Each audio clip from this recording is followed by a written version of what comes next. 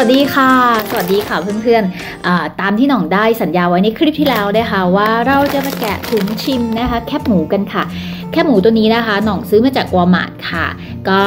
จริงๆแล้วถ้าตามตลาดเอเชียเขาก็จะเป็นแคบหมูอย่างเดียวนะคะ แต่แคบหมูยี่ห้อนี้นะคะเขาก็จะผสมตัวที่เป็นชีส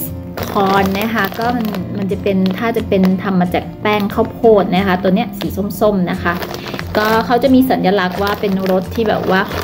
ฮอตนะเนาะเผ็ดนะ่ะเผ็ดเนี่ยค่ะ ตรงนี้เพื่อนๆสามารถหาซื้อได้ที่วอลมาร์ทนะคะ ทุกสาขาเลยหน่องเห็นมีนะคะ มีทุกสาขาก็พอดีหน่องเดินทางมาอินเดียใช่ไหมหน่องก็คิดว่าเออเราควรจะมีขนมของคบเคี้ยวนะคะเอามาทานด้วยในแบบที่เราชอบนะคะ ก็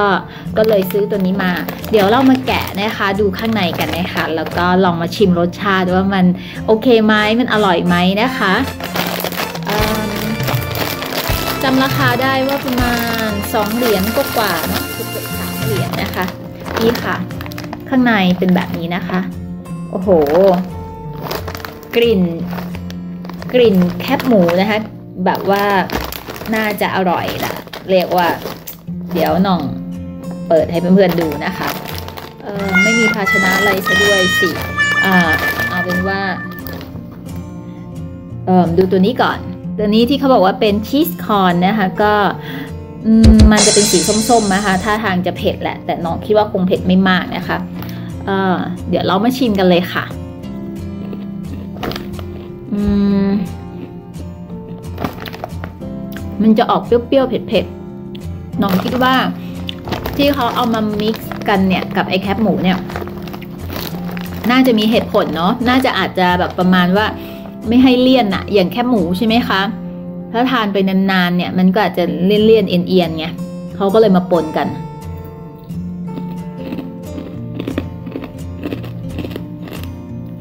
แคบหมูเนี่ย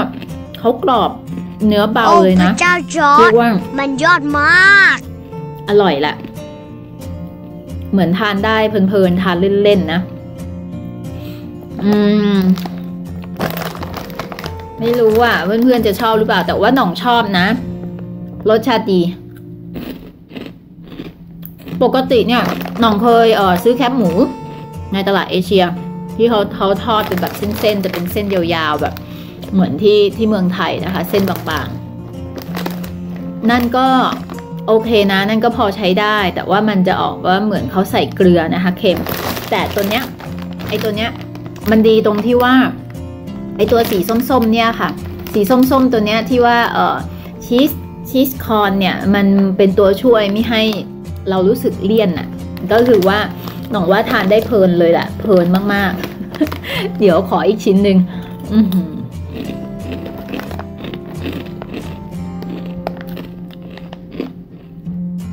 อร่อยอะ่ะ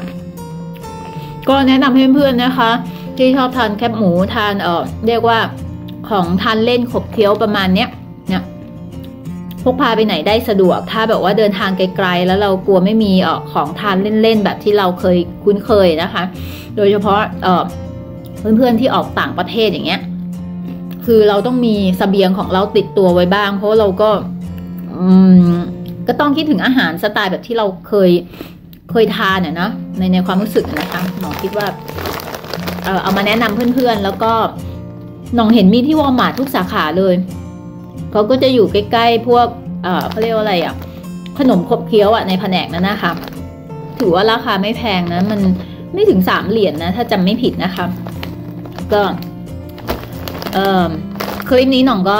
ต้องขอตัวลาไปก่อนแล้วค่ะ ก็เดี๋ยวไปทานต่ออีกนิดนึง แล้วเดี๋ยวเก็บไว้ทานอีกวันถัดไปก็ประหยัดนิดนึงนะคะ เพราะว่ามาอยู่ที่นี่เนี่ยอาหารอินเดียค่อนข้างทานยากนะคะนิดนึงคือแบบว่าถ้าใครไม่ไม่ไม่เคยเอ่อเอ่อทานอาหารอินเดียเนี่ยก็อาจจะคิดว่าไม่ได้ทานยากอะไรก็แบบพวกที่มันเป็นแบบแป้งแผ่นแป้งโรตีแต่มันไม่ใช่เลยนะคะ พวกที่เป็นแผ่นแป้งโรตีเนี่ยเขาก็ไม่ได้โรยนมโรยน้ำตาลแบบโรตีบ้านเรานะเขาจะแบบว่าให้เรากินกับแกงของเขาอะ่ะ มันจะมีเครื่องแกงเครื่องเทศอะไรของเขาแต่มันมันคนละรสคนละสไตล์กับอาหารไทยเลย ก็ค่อนข้างกินยากสำหรับหน่องอะนะ ก็โชคดีที่มีเออสเสบียงของเราติดตัวมาด้วย ถือว่ารอดไปได้ในแต่ละมื้อนะคะ ก็ ถือว่าทริปนี้ก็โอเคนะคะ กับเรื่องของอาหารการกิน โอเค เดี๋ยวเราเจอกันใหม่ในคลิปหน้านะคะน้องจะอัปเดตเรื่องราวของประเทศอินเดียนะคะ ให้เพื่อนๆได้รับชมกันในคลิปถัดไปนะคะ ไปก่อนแล้วละค่ะ วันนี้ขอตัวลาไปก่อนแล้วละค่ะบ๊ายบายค่ะ